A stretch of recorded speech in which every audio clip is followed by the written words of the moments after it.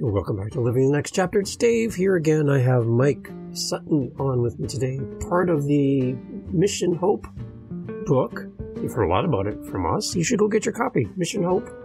Links in the show notes. Go grab a copy of this book and give it to someone. Come on, read it yourself, pass it along, gift it. It's a great book. Mike comes on to talk about something very emotional, very personal from his perspective. He lost his wife and we really connected in this episode, and I really enjoyed talking to Mike. Such a great guy, and uh, he wants to help those that are grieving, losing someone special. What happens when you lose your soulmate? How do you carry on? What do you do? Mike is here to share his story with you and what he's contributed to the Mission Hope book. Here's a little clip from uh, from Mike's perspective on his writings and what his message is for the world here on Living the Next Chapter. Here we go. This, uh, this book would be for any member of the family that's old enough to understand that we, we live once and death is a part of life. Because even for myself, when it happened to me, I had no clue what I was in for. All I knew was you cry all day long.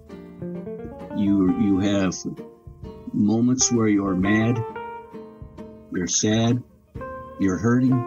You don't you don't know what the next moment's going to bring. And throughout the book, I take it back to no matter what mood or where I'm at on that given day, that I have to ask God for the strength to get through it because there's no way I could do it on my own. And as the person, individuals reading it go through the chapter, whether it be husband, wife, children, it, it doesn't make any difference.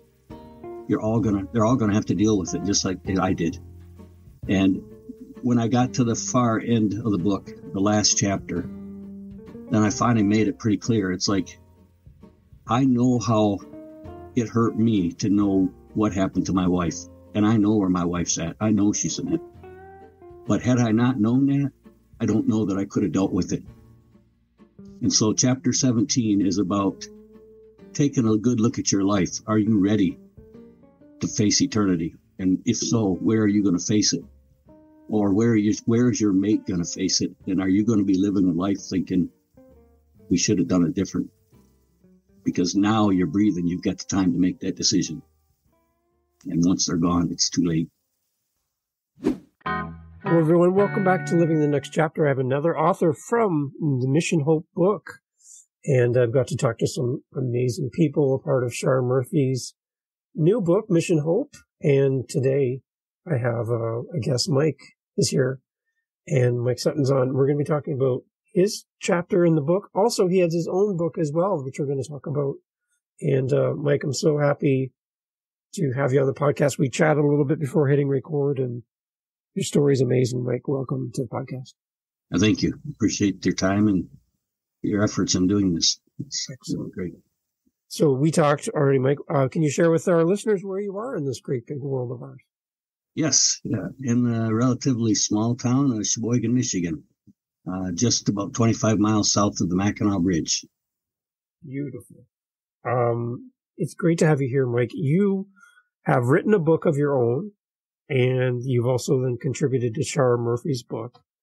And uh, your story is uniquely powerful and I'm excited to have you here, Mike. Can you share, share a little bit of the background to your book that you wrote, and then we'll talk about your chapter in Char's book as well. Yes. Uh, mine is titled To Lose a Soulmate. Um, 2020, just before the COVID started, uh, we had had illness in the house and we thought that it was the flu, but the wife never got sick. Um, in 43 years of marriage, I've never seen her with the flu. She just never got it. She'd get bronchitis once a year. And all of a sudden, one day she was going to take a shower and I heard her call me and I got down there. She couldn't breathe. She couldn't move. So we got the ambulance and they took her in and they checked her out. They decided, you know, they four or five days they keep her and I got to talk to her each day, every night, every morning, whenever we wanted to talk, we could talk.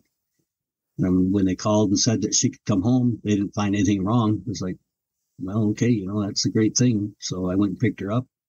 We came home. We had a week. Everything was great. We did everything we did always would do. We'd go fishing, we'd go walking, shopping. Following Thursday, she had her Zoom meetings with all the doctors or follow up. There was heart doctors, uh, breathing doctors, and none of them had anything to say that they found anything. Everything was perfect. I said, I, I don't understand that, but I said, if you know, that's what you're telling me, okay. That night, we went, to, we had that entire day from the time of her last Zoom meeting. We had 18 hours together with no interruptions. At 2.30, quarter to three in the morning, she woke up and she couldn't breathe again. And I checked her oxygen and she was down to 70, 71. So I got the ambulance and they came and they went right down the hall with their cot there. And by the time they had gotten here, we had been praying in the bedroom and holding on to each other. She didn't want me to let go and I didn't, I didn't want to let go. But, uh, they took her back to the hospital and from that moment on, I couldn't talk to her.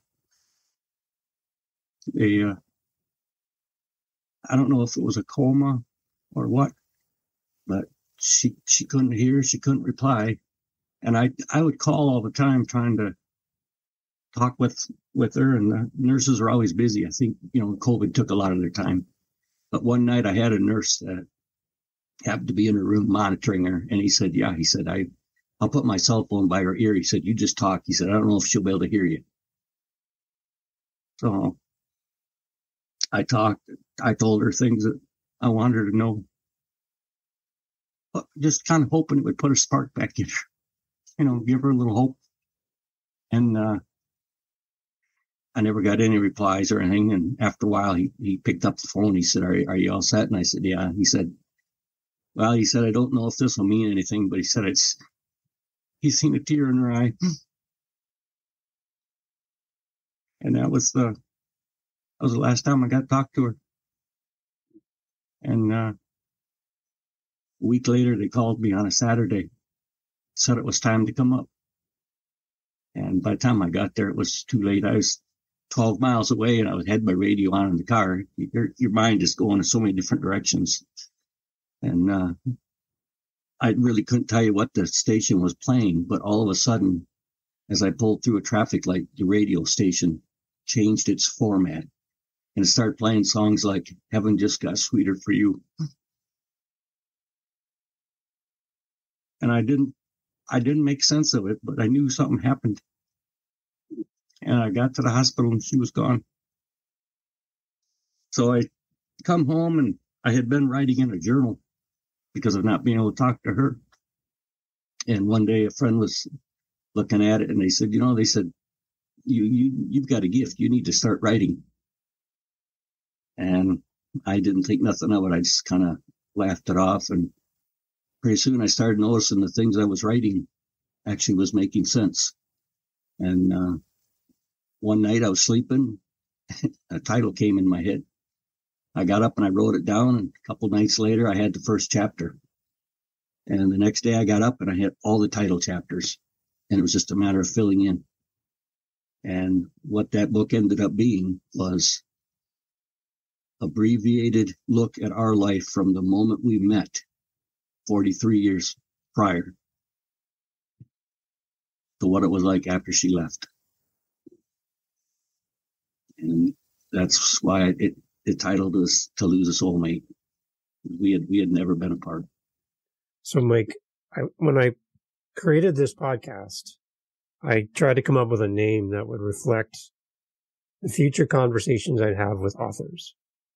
And so it's called Living the Next Chapter. And what you're describing to me is the title of my podcast. You were living the next chapter at every stage throughout all this. And that's. And that's exactly how the chapters came out. Yeah. And, and now even as I move forward now, not too long after writing that, some of the writings that I, I don't I don't think hard on them. They just whatever comes in my mind and heart. I kind of described it as looking at the world through the windows of my heart. For some reason, I look at things entirely different than I did ever before in my life. And I think it was and is the fact that God has given me the strength to keep going. Because I know there's, you get up in the day and you got to put a happy face on and you push all day long. But when I come home at night, it's like a safety zone. There may be nights where tears flow pretty hard and heavy. But when it gets to the point that you can't breathe and you ask God for comfort, the next thing I know, I wake up the next day and I'm ready to hit it again. And I go one day to the next. I don't plan ahead too far. I just take it a day at a time. But God's always given me the comfort to get through the day. Yeah. So it, there's a lot to, to be thankful for, even though it hurts bad. Yeah. You know. So, Mike, for your book that you wrote, um, so there's this old mate, like, who who would this book benefit if if somebody could share this book with somebody in their life who's lost somebody? What what is in this book that offers that hope, that offers real, real snapshot, a real look into what it's like and how it feels. Who, who is this book for? This, uh, this book would be for any member of the family that's old enough to understand that we, we live once and death is a part of life. Because even for myself, when it happened to me, I had no clue what I was in for.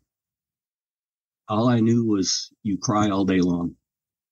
You, you have moments where you're mad, you're sad, you're hurting. You don't, you don't know what the next moment's going to bring. And throughout the book, I take it back to no matter what mood or where I'm at on that given day, that I have to ask God for the strength to get through it because there's no way I could do it on my own. And as the person, individuals reading it go through the chapter, whether it be husband, wife, children, it, it doesn't make any difference. You're all gonna, they're all gonna have to deal with it just like I did. And when I got to the far end of the book, the last chapter, then I finally made it pretty clear. It's like, I know how it hurt me to know what happened to my wife. And I know where my wife's at. I know she's in it. But had I not known that, I don't know that I could have dealt with it. And so chapter 17 is about taking a good look at your life. Are you ready to face eternity? And if so, where are you going to face it? Or where are you, where is your mate going to face it? Mm. And are you going to be living a life thinking we should have done it different? Because now you're breathing, you've got the time to make that decision. And once they're gone, it's too late. Like I, I don't like I don't know. Like I don't even know. I've been many married for many years as well, and I just can't imagine that comrade, that go-to person that when you have that funny story or you have that frustration and you just need to talk to that person, you just know that they're always right beside you. You just it's natural to turn or to pick up the phone or whatever, and you just know they'll always be answering you. They'll always be right there. And I know when I lost my dad, yeah, the same thing. I used to, you'd see his name pop up on the phone. You're like, oh, I'll call you back. I'm, I'm doing something, but my phone doesn't do that anymore. And it's probably when I finally realized that that moment was over. That's when it really hit me is that I don't have that person that I can go to as a father son relationship not in this context. And that was really hard to realize that that, that was my new reality. That was how things are now. And it took a lot. It still takes a lot. Yep. Yep. I'm going on three years and there's not a day or a moment yeah. that I don't miss her. And I, and I know that's right. the way life's got to be. But even still, I thank God every morning that I wake up and see the daylight. But I thank Him again at the end of the day for getting me through it I, I, I can think of her, I can have the memories, and when they get too much, the next thing I know is I wake up the next morning. It's like he knows just how much I can take. And then I must fall asleep. And when I wake up, it's a sunny day. And the one thing too about having a relationship like with your partner, your spouse, for me, like with my father, is a lot of your purpose is found in that relationship. And when that relationship is now gone, you find yourself looking for another outlet, purpose, something to, to give to and be a part of. You shared before we hit record that now that you're retired, you have some time and you do things to help people. Can you talk a little bit about what you're doing now as reaching out? Yes. Uh, yep. I do volunteer. Not, not, I really wouldn't call it volunteer work. If someone has a project and need help, I'm, I'm available. If I can help them, I'll help them. Um, I've also, uh, assist with a grief survivor group. So as they have a monthly meeting, the leader will call and give me a heads up of what the topic's going to be and ask me, can I write something to hand out to the those that show up for the meeting. So each, each month I'll write a poem or a short story that will deal with the topic that myself is included that we all have dealt with or will deal with. Uh, one of them was titled firsts. You know, going through life, we all have the first birthday, the first, first dance, the first wedding. When you lose a loved one, there's a lot of firsts the first moment you sit down the table and there's one plate, one cup, one set of silverware. That's hard, you know, and it's, it's things like that that if I can keep it going, I've got two children that are still in the area. So whatever I can do for them and that's, that's my number one goal. You know, they've got one parent now. I can't mm-hmm. take the place of their mom. Tell me about their reaction to your book. How do they, how do they feel when they, when they got their copy? Uh, okay. my daughter still has not read it. Yeah. She can't. Uh, my son, I don't know if he read it yet or not, but he, I did see that he moved, moved it from his kitchen table. My wife's sister just notified me last week that she finally read it. And it it was available September 25th of last year. And it, it took her that long to be able to pick it up. And she said, my wife would have been proud of me. And it's like, I don't think of it as that way, but I wanted to be able to help others who are going through it or will go through it. Like I say, I had no clue what, what was happening or what to expect. Maybe if they get a hold of this, it'll at least it's different for everybody, but at least give them a handle on, okay, that's, this is normal. It's, it's normal to have everything all turned upside down right. and twisted around. So let's switch gears, Mike, over to your, your writings for with Char and, and all the great authors part of Mission Hope. Can you tell me a little bit how you, I'm always interested to hear this, but how you and Char actually connected about this project? I'm interested to hear that story. Yes a- after the death of my wife, when I was still writing in the journal, these thoughts would just come to me. And so I would write them down. And like I say, they started making sense. My, I had never been on Facebook in my life. My wife always yeah. had Facebook. So when she passed, I put a note out there to her friends that, you know, here's the reason she's not going to be here anymore. And I just changed the name on the, the Facebook page. So I thought, well, I'll just start putting these writings on there. And evidently Char had going through Facebook had seen some of them. And she sent me a note saying she thought that maybe I was different than most people. At least from what she was reading, she, she couldn't really figure out what was going on. So could she call me? Sure. So she called. the first call, I never got a really a chance to talk any. So she called again and apologized the next call, then she told me that this book was coming up and she had read some of the writings and she felt that the story that I had would be a story that would be beneficial to others. You wanted to know what I'd be interested in. I said, I'd, I'd be happy to. So, and that's how it came about. And uh, she's been great to work so Mike, with. one of the things I've been asking each of the authors that are part of Mission Hope during our conversation is if you had a message specifically for Char, because she's going to listen to this episode as the the one that's pulled this book together for everyone. I just wanted to give each of the authors an opportunity. I'm going to get out of the way, and I'd like you to talk to Char directly and share your thoughts with her about being part of this project and if you had anything you wanted to say directly to Char, because again, she'll be listening to our, our conversation. Okay. Okay. Sure. Uh, Char, you know it's me, and we've talked before, and um, I'd just like again to thank you for this opportunity. The the thought that you had and the heart that you've put into it. We've talked in the past how it's it's it's got to be a working of God to be able to pull all these people together, everyone of different minds. There's been no complications. Everything has ran smooth. The stories all came in. And if just one small spark of hope is ignited in someone who's at the very bottom, then it's all been worth it.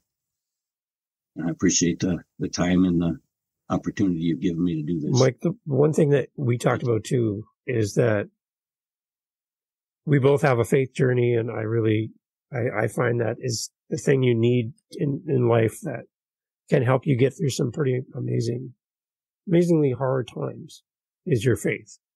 And you said something about how your faith has been there for you throughout this whole thing, losing a spouse and losing a partner. Yep. Can you talk a little bit about how your faith has kept you strong? Yes. Uh, I was I was saved as a youngster, and growing up as a preacher's son, we were always in church. And but when I hit my teenage years, I kind of went my own way. And you you put a lot of miles on. They're not all good miles, but they're miles. And when something like this hits you, it automatically you know that all you got to do is just call, just just call God. And in, in this story with Char, I, I put that down there that if you know someone who's at their end, if, if they're where they think the very bottom is, all they got to do is just talk to him as a friend. And, and he hears you. And I hadn't totally forgot about him, but I hadn't really kept him at number one in my life. He never held that against me. He was there when I needed him. And he has stayed there each day you know, it's, it doesn't matter if I'm on the road traveling or if I'm home reading a book. When these moments of grief hit you, it's like a, a huge wave, like a tsunami. And there's times that it'll be so bad that it'll take your breath away. All I got to do is pray. And he calms me. I, I just don't know how else I could ever survive it. You know, but to know that he's there when you need him is, it's just a, a wonderful feeling. It's, it's, it's not only a good feeling, but it causes you to look at everything different. It's like you, you see the beauty in things more. And I think that's because he's there. And it, it just makes life so much easier. Mike, this is your first time coming on a podcast, and I got to tell you, you you're an amazing guest because of your story and who you are. And I'm my hope is that people come across your book, come across this podcast episode, get to hear your heart and the fact that there is hope for those that lose their soulmate. Um, it's something you never want to think about, but I'm sure there's going to be people listening to this that are in a similar situation and your words are going to help and your book is going to help. And that, yeah, it's, it's something that we're all going to deal with. Yeah, Have I got please, a minute? Please. I can read a, I, uh,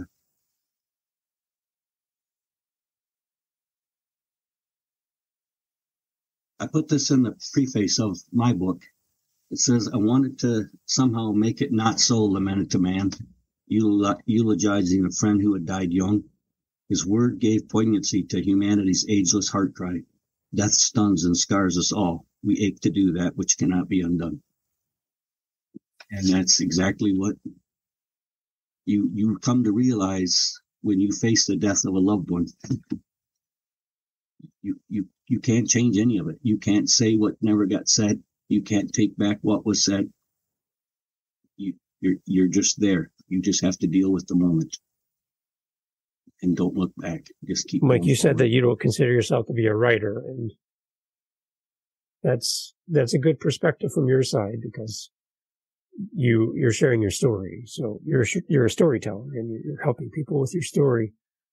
What would your wife think about all this? The book, all of this. How how would she have responded to this? Had you said, "I'm going to be an author. I'm going to write books and be on a podcast," what would she would have said to you?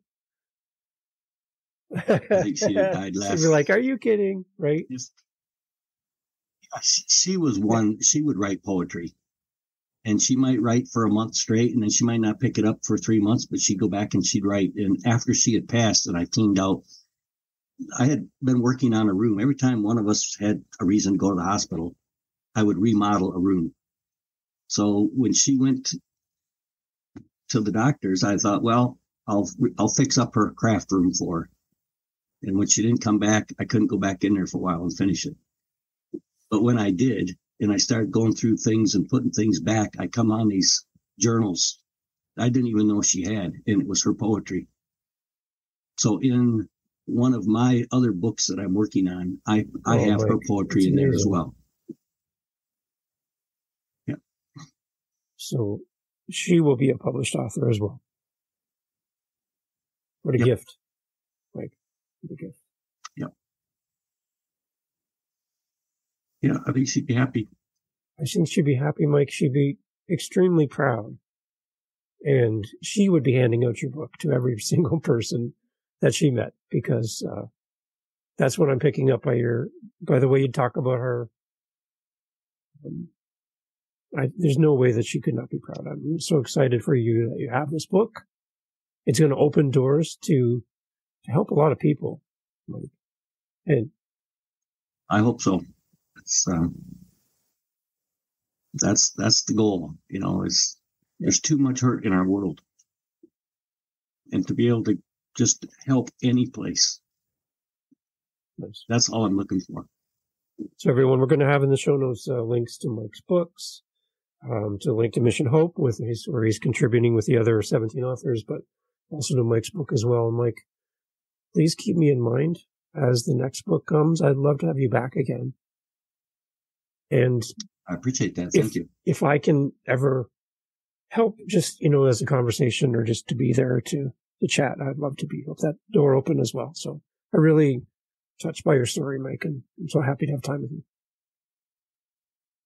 I appreciate that. One of these times when I get there up that go. way, maybe I'll You're always welcome here Here in Canada. Love to have you here. Awesome. Everyone, please go check Thank out you. the show notes. Thank you, Mike, so much for being part of the podcast. Please go buy Mission Hope and all the other eight, 17 authors, 18 total, Char Murphy's book. Um, thank you, Mike, for being here. Hey, thanks for being here for the podcast Mission Hope Thriving Through Seasons of the Soul. Came out March 24th, 2023 18 amazing authors, all corralled by the amazing Char Murphy. If you need some inspiration in your life, please go to the show notes, follow the links, go purchase the book, gift it to someone, buy copies and leave it in your waiting rooms of businesses or the dentist office. Just go out and buy the book and support these great authors, many first time authors First time podcast guests. A lot of firsts happening here. Char Murphy, thank you. Dominic Domasky, publisher as well from Motivation Champs. Thank you so much for bringing together these amazing people and and to have these authors on these on a podcast here to talk about their chapters is so great. Encouraging you, go out, check out Mission Hope, Thriving Through Seasons of the Soul. Get your copy today. Thanks for being part of the podcast. Catch you on the next one.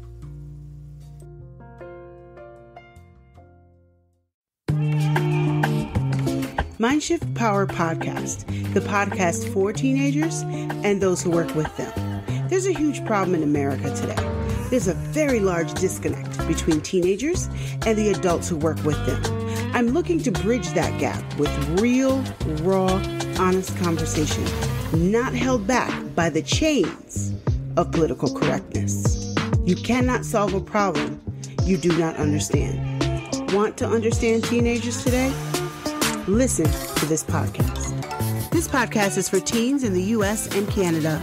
To learn more, go to fatimabay.com slash podcast or just look for Mindshift Power Podcast on any listening platform. I look forward to you being a faithful listener.